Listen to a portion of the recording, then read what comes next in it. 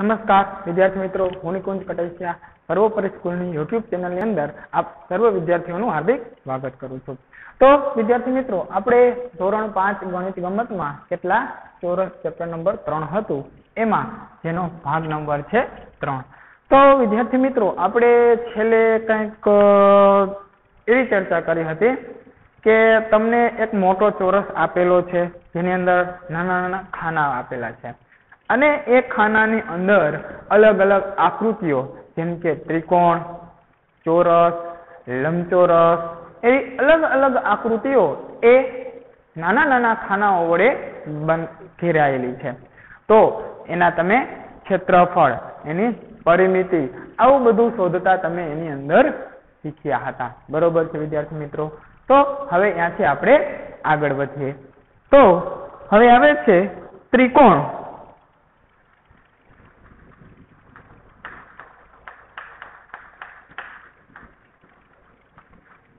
આપણે ગણિતની પાઠ્યપુસ્તકમાં હવે આવે છે ત્રિકોણ. પેજ નંબર એકતાલીસ. કે આ લંબચોરસમાં દર્શાવેલા બંને મોટા ત્રિકોણના ક્ષેત્રફળ સરખા છે એવો આપણને પ્રશ્ન કીધો છે. તો આકૃતિમાં તમે વિદ્યાર્થી મિત્રો એવું જુઓ છો કે એક દુધિયા એટલે કે વાદળી કલરનો એક આપણને એની અંદર ત્રિકોણ આપેલો છે અને બીજો જે ત્રિકોણ છે એ આપણને લાલ કલરનો આપેલો છે. પરંતુ આ તો તદ્દન અલગ દેખાય છે. સાદી કેમ કે છે કે આ તો તદ્દન અલગ દેખાય છે? તો હવે આગળ વળી પાછો સાદી કેવું કહે છે કે વાદળી ત્રિકોણ મોટા લંબચોરસથી અડધો છે. હવે જો શું કહે છે કે વાદળી ત્રિકોણ છે એ મોટા લંબચોરસથી અડધો છે મોટા લંબચોરસનું ક્ષેત્રફળ વીસ ચોરસ સેમી છે.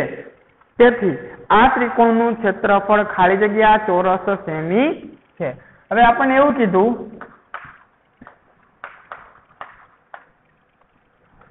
વાદળી ત્રિકોણ મોટા લંબચોરસથી. કેવો કીધો આપણને વિદ્યાર્થી મિત્રો? અડધો છે.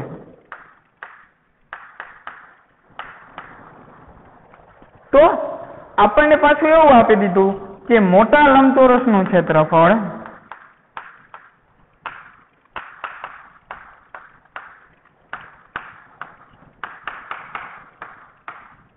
વીસ ચોરસ સેમી છે. કેટલું છે વિદ્યાર્થી મિત્રો? વીસ ચોરસ સેમી છે. તો હવે આપણને એવું કહે છે કે મોટો એટલે કે જે વાદળી ત્રિકોણ છે, એનું ક્ષેત્રફળ કેટલું થાય? વાદળી ત્રિકોણનું ક્ષેત્રફળ કેટલું છે? તો કે મોટા લંબચોરસનું ક્ષેત્રફળ એના કરતા કેટલું છે વિદ્યાર્થી મિત્રો? તો કે અડધો. અડધો એટલે શું કરવાનું? તો કે એને ગુણ્યા અડધા કરી નાખવાના. અથવા તો ભાંગ્યા. અડધો કીધું એટલે આને અડધા કરવાના. કેના? તો કે મોટા લંબચોરસ ને તો મોટા લંબચોરસ કેટલું છે? તો કે વીસ ક્ષેત્રફળ છે. એના અડધા કરો એટલે એને ભાંગ્યા બે કર્યા. અથવા તો એકના છેદમાં બે વડે ગુણો. આ બંને એક જ થયું કહેવાય. હવે આનો ભાગાકાર વીસ ભાંગ્યા બે ભાગાકાર કરો એટલે આવશે દસ ચોરસ સેમી. તો આપણે શું કહી શકાય કે વાદળી ત્રિકોણનું ક્ષેત્રફળ કેટલું આવ્યું? વીસ. હવે, તો લાલ ત્રિકોણનું ક્ષેત્રફળ કેટલું હોય? શું કહે છે વિદ્યાર્થી મિત્રો? આપણને એવું કીધું કે તો લાલ ત્રિકોણનું ક્ષેત્રફળ કેટલું હોય? હવે, એના માટે થઈને આપણને બે વસ્તુ આપી. સાદી કેવું કહે છે? અરે, આમાં તો બે અલગ અલગ લંબચોરસના અડધા ભાગ આપેલા છે. હવે તો શું કર્યું એને? બે અલગ અલગ લંબચોરસ હતા, એના બે અડધા ભાગ કરી નાખ્યા. હવે તમે સાદિક જે કહે છે તે બે લંબચોરસના ક્ષેત્રફળ શોધો. હવે લાલ ત્રિકોણનું ક્ષેત્રફળ કેટલું છે? સમજાવો. હવે જો વિદ્યાર્થી મિત્રો, કે આપણે કીધું એ પ્રમાણે કે લાલ ત્રિકોણ છે, આકૃતિની અંદર જોઈ શકાય, તો આકૃતિમાં તમે આવું જુઓ છો.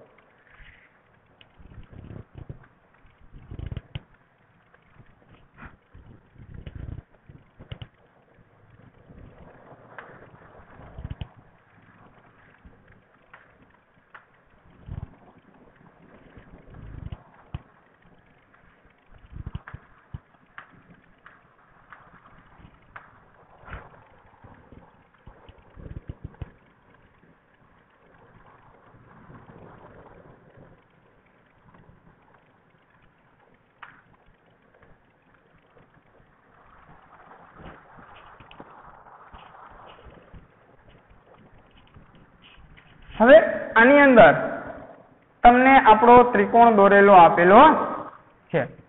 આજ જે આકૃતિ છે, એની અંદર આપણો ત્રિકોણ દોરેલો છે.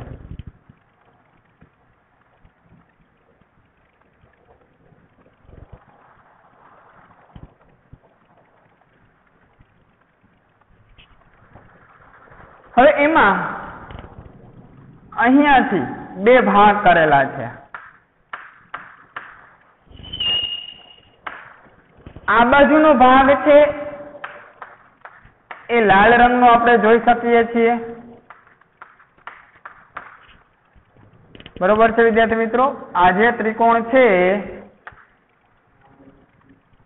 એમાંથી આ જે ભાગ છે એ લાલ રંગનો છે. જ્યારે બાકીનો ભાગ છે એ તમને કેવો જોવા મળે છે? તો કે લીલા રંગનો જોવા મળે છે. તો એવું કીધું કે લાલ ત્રિકોણનું ક્ષેત્રફળ.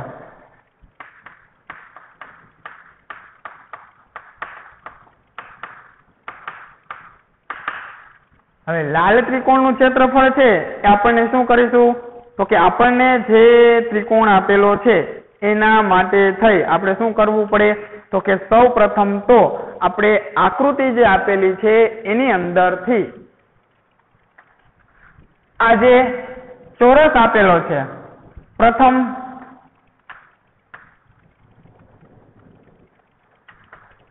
લાલ ભાગ માટે. પ્રથમ લાલ ભાગ. હવે એના અડધા. એના શું કરવાના? અડધા. તો તમે જુઓ છો, વિદ્યાર્થી મિત્રો, લાલ કેટલા ચોરસ આપેલા છે? એક, બે, ત્રણ, ચાર, પાંચ, છ, સાત, આઠ, નવ, દસ, અગિયાર ને બાર. કેટલા આપેલા છે? બાર આપેલા છે. તો, વિદ્યાર્થી મિત્રો, આપણે એના અડધા કરવાના છે. શું કરવાનું છે?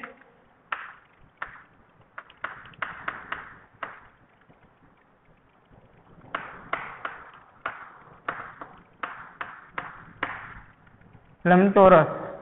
એના અડધા, એટલે એને ભાગ્યા બે. તો, બાર આપેલા હતા, એના અડધા કરો, એટલે કેટલા મળે આપણને? છ ચોરસ સેમી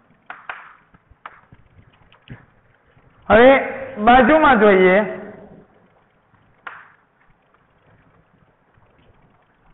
તો બાજુમાં કેવો આપેલો છે? લીલા ભાગનો અડધો. શું આપેલું છે? લીલા ભાગનો અડધો. તો લાલ લીલા ભાગના અડધા કરવાના. અડધા એટલે ભાગ્યા બે હવે લીલો ભાગ છે, આમાં તમે જુઓ છો, વિદ્યાર્થી મિત્રો કેટલા છે? તો કે આઠ ભાગ્યા બે તો ચાર ચોરસ સેમી આવે. હવે આ બંનેના, આને અડધો કર્યો તો તમે જોઈ શકો છો કેટલો મળ્યો તો છ. જ્યારે આનો અડધો કર્યો તો એનો અડધો મળ્યો આપણને ચાર.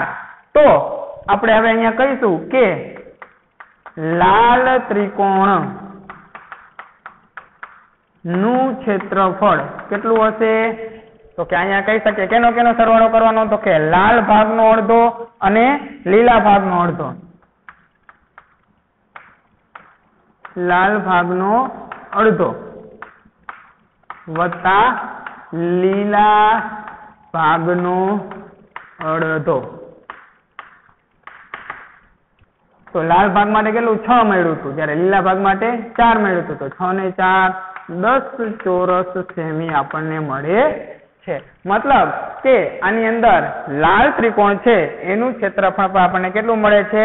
તો કે દસ ચોરસ સેમી મળે છે.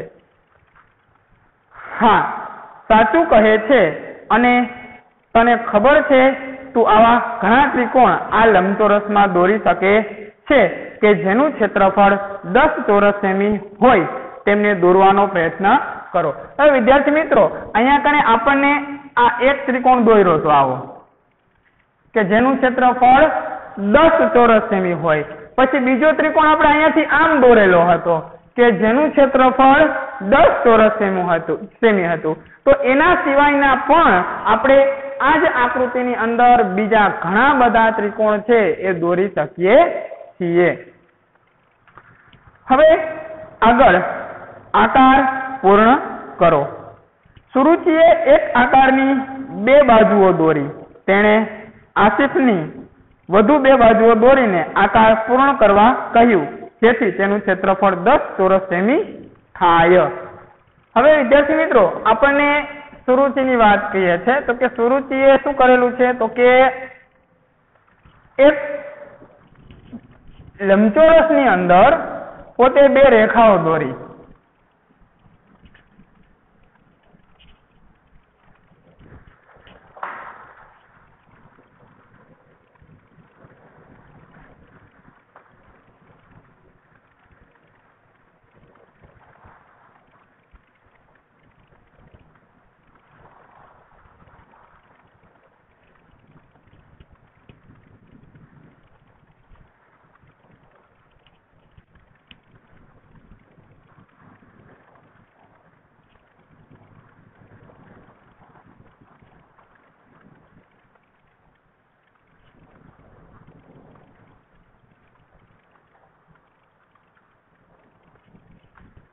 આવી રીતના એક તમને આકૃતિ છે. હવે એની અંદર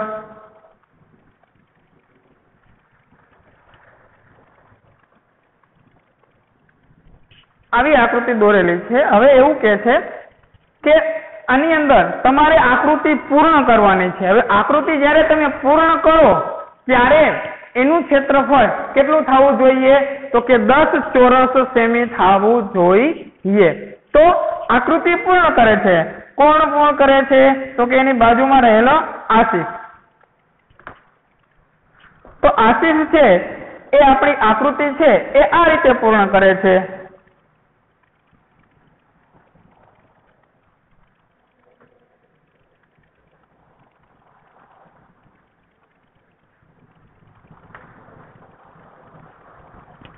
આકૃતિ છે આવી રીતના પૂર્ણ કરે છે. તો વિદ્યાર્થી મિત્રો, એની અંદરની જે બાજુઓ છે, એટલે આની અંદર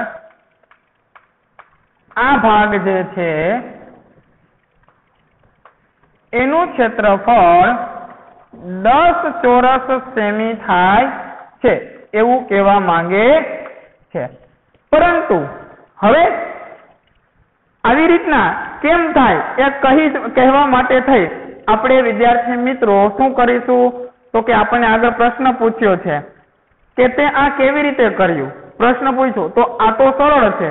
જો લીલો ભાગ જોઈશો, તો તે ચાર ચોરસ સેમી છે. હવે વિદ્યાર્થી મિત્રો, લીલો ભાગ છે એ કેટલો દર્શાવે છે? એ અહીંયા હું તમને કલર સાથે દર્શાવી દઉં છું.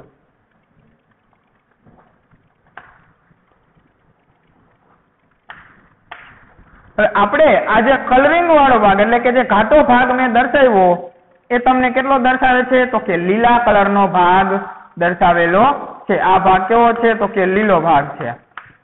હવે કેટલો છે? આમાં ફરી એક વખત આકૃતિ માથે દોરી નાખું.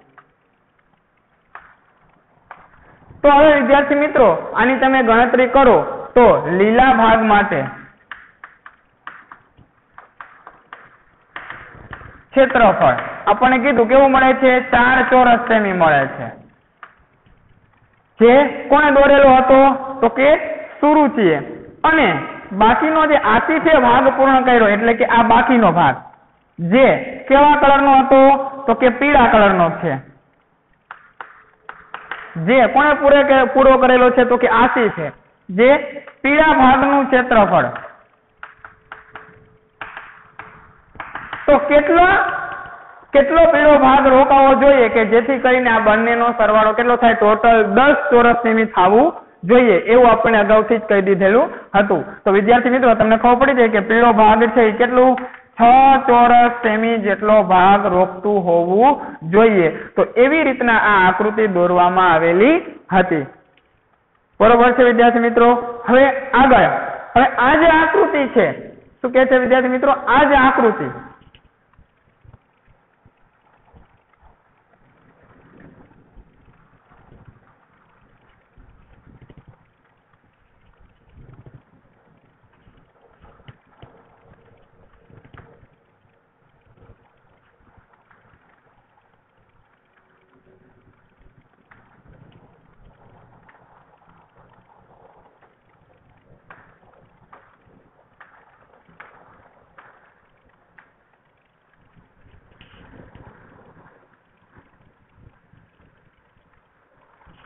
હવે આ જ આકૃતિ છે, એની અંદર એને બીજી રીતે પૂર્ણ કરેલી છે, વિદ્યાર્થી મિત્રો. કેવી રીતના? તો કે બીજી રીતે. બીજી કઈ રીતે પૂર્ણ કરેલી છે? તો અહીંયા આપણે એવું જોઈ શકીએ છીએ કે આપેલી આકૃતિ છે, એ આવી આકૃતિ દ્વારા એને પૂર્ણ કરવામાં આવેલી છે, જે પતંગ આકાર જોઈ શકાય છે.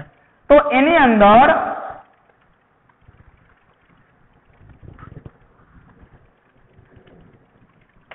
આ લીલો ભાગ છે. જે તમને ખબર છે કેટલો ભાગ રોકતો તો વિદ્યાર્થી મિત્રો, આ લીલો ભાગ અહીંયા આપણને આપેલું છે ચાર ચોરસ સેમી. લીલો ભાગ છે ચાર ચોરસ સેમી. અને બાકીનો જે આપણે આમાં જોઈ શકીએ છીએ કે આ ભાગ પીળા રંગનો. તો પીળો ભાગ જે છે, જે કેટલું રોકે છે? છ ચોરસ સેમી. પરંતુ આ બંનેમાં તમે જુઓ તો આકૃતિની અંદર કંઈક તફાવત જોવા મળે. છે. એટલે કે આકૃતિમાં તફાવત છે. શ્રુતિ સાચી છે. વાદળી ભાગનું ક્ષેત્રફળ કેટલું છે? સમજાવો. તો અહીંયા આગળ આપણને એવું કીધું કે આ વાદળી ભાગ છે, એનું ક્ષેત્રફળ કેટલું છે? એ સમજાવવાનું કહે છે આપણને. તો વાદળી ભાગનું ક્ષેત્રફળ છે, એ આપણે ગણતરી કરવાની છે. તો અહીંયા તમે ગણતરી કરો. વાદળી ભાગનું ક્ષેત્રફળ સોરી અહીંયા કણે પીળો નથી, અહીંયા કેવો છે? વાદળી. હે? વાદળી આપેલો છે. આ વાદળી ભાગનું ક્ષેત્રફળ છે, એની ગણતરી કરીએ તો આપણે ખબર છે કે સૌથી પહેલા કેટલી ગણતરી કરવાની? તો કે પૂરા જે ચોરસ આવતા હોય એની. તો પૂરા કેટલા આવે છે? તો કે બે. વધતા. કેટલી ગણતરી કરવાની? તો કે અડધા આવતા હોય એવા. તો વિદ્યાર્થી મિત્રો, અહીંયા આગળ આપણે જોઈ શકીએ છીએ કે અડધા એક પણ ત્રિકોણ છે નહીં, એટલે કે અડધા એકય છે નહીં, આ અડધાથી વધારે. અહીંયા આવે તો અડધો થાય. એવી રીતના આ પણ અડધાથી વધારે, આ અડધાથી વધારે, આ અડધાથી વધારે. તો અડધા એકય છે નહીં, એટલે શૂન્ય. વધતા અડધાથી વધારે.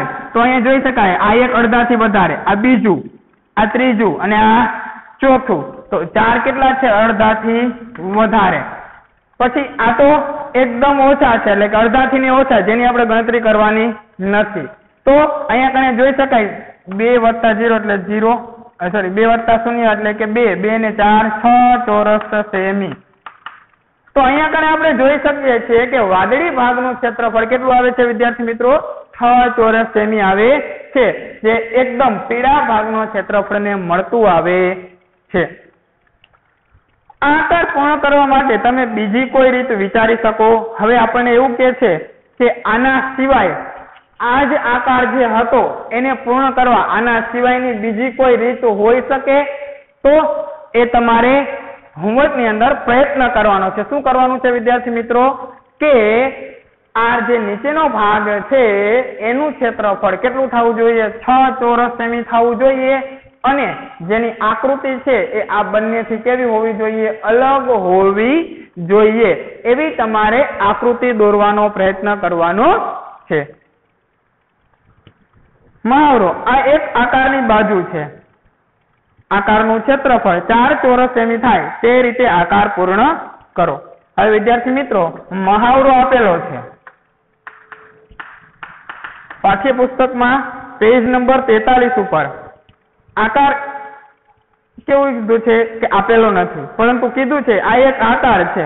હવે આકારનું ક્ષેત્રફળ ચાર ચોરસ સેમી થાય તે રીતે આકારને શું કરવાનો છે વિદ્યાર્થી મિત્ર?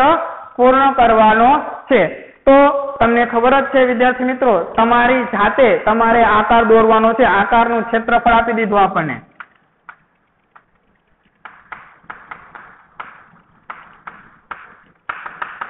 ચાર ચોરસ સેમી. હવે આવી જ રીતના જેમ આની અંદર આપણે શું કરેલું હતું તો કે કુલ ક્ષેત્રફળ આપી દીધું હતું. કેટલું તો કે દસ થવું જોઈએ અથવા તો વાદળી ભાગ જ આપણે દોરવાનો હતો, નીચેનો ભાગ જ. જેનું ચોરસ ક્ષેત્રફળ કેટલું? છ ચોરસ સેમી થવું જોઈએ. આપણે અગાઉથી ખબર હતી અહીંયા કણે આકાર ખાલી અલગ થવો જોઈએ. તો એવી રીતના અહીંયા કઈ મહાવરામાં આપણે એવું કીધું કે આકારનું ક્ષેત્રફળ ચાર ચોરસ સેમી છે. હવે આકાર તમારે જાતે તૈયાર કરવાનો છે. પરંતુ ધ્યાન એ રાખવાનું કે એનું ક્ષેત્રફળ ચાર ચોરસ સેમી થવું જોઈએ. એનાથી વધી જવું જોઈએ નય. પછી બીજું કે છે કે અહીં એક આકારની બે બાજુઓ દોરેલી છે. બીજી બે બાજુઓ એવી રીતે દોરો કે જેથી તેનું ક્ષેત્રફળ બે ચોરસ સેમીથી ઓછું થાય. હવે બીજું એવું કે છે આપણને કે એક આકૃતિ તમને આપેલી છે. એ આકૃતિની અંદર બે બાજુઓ દોરેલી છે. શું કે છે વિદ્યાર્થી મિત્રો? બીજા પ્રશ્નની અંદર કે એ આકૃતિમાં તમને એની બે બાજુઓ દોરીને આપી દીધેલી છે. હવે એ બે બાજુઓ આપી દીધેલી છે કમ્પ્લીટ પૂરેપૂરી. તો એને આપણે એવી રીતના દોરવાનું છે કે જેથી કરીને શું થાય? કે જેથી કરીને એની એનું જે ક્ષેત્રફળ છે એ બે ચોરસ સેમીથી કેવું થાય? ઓછું થાય. બરોબર છે વિદ્યાર્થી મિત્રો? જે તમારે મહાવરામાં તમારી જાતે પૂર્ણ કરવાનો છે. પછી ત્રીજો પ્રશ્ન, અહીં એક વીસ ચોરસ સેમી ક્ષેત્રફળનો લંબચોરસ આપેલો છે. વિદ્યાર્થી મિત્રો, ત્રીજા પ્રશ્નમાં એવું કે છે કે વીસ ચોરસ સેમીનો લંબચોરસ આપેલો છે. હવે એના ઉપરથી નીચે પ્રશ્ન પૂછ્યા છે. કે આ લંબચોરસમાં એક સીધી રેખા એવી રીતે દોરો કે જેથી બે સમાન ત્રિકોણ બની શકે. હવે વિદ્યાર્થી મિત્રો, આપણને જે આકૃતિ આપેલી છે, એમાં આપણને શું કરવાનું છે? તો કે એવો ત્રિકોણ દોરવાનો છે કે જેથી કરીને બે સમાન, એટલે કે સરખા ત્રિકોણ બને આકૃતિ તમે જોઈ શકો છો આની અંદર અહીંયા આપેલી છે. જેમ આપણે શું કરેલું હતું? તો કે અગાઉ. આની પહેલાની જે આકૃતિ હતી, એમાં આપણે બે સરખા ત્રિકોણ બનાવેલા હતા. કે શું કરતા હતા? કે આખી આકૃતિ હતી. ત્રીજાનો જોઈએ તો આવી રીતના તમને એની અંદર આકૃતિ આપેલી છે.